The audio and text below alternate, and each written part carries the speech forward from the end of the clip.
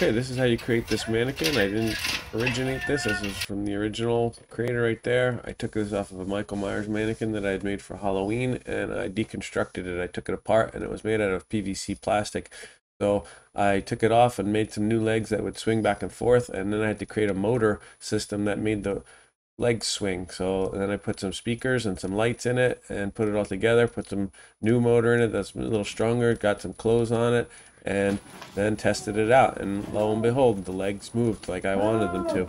It wasn't without some errors though so I climbed up onto the roof and I strung up the lights that would lead to the mannequin and I would say this was uh, probably the most scary part because I have a very thin area of my roof and I almost got uh, karma coming back at me by almost falling off the roof. Wouldn't that have been funny? Anyway, got it all together, got the lights up, got the mannequin, strung it up there, hung it by its hands, and set it to go. And there you go.